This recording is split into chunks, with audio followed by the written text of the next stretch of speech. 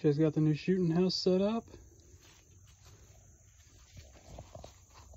I feel like we skipped a step on the instruction booklet though.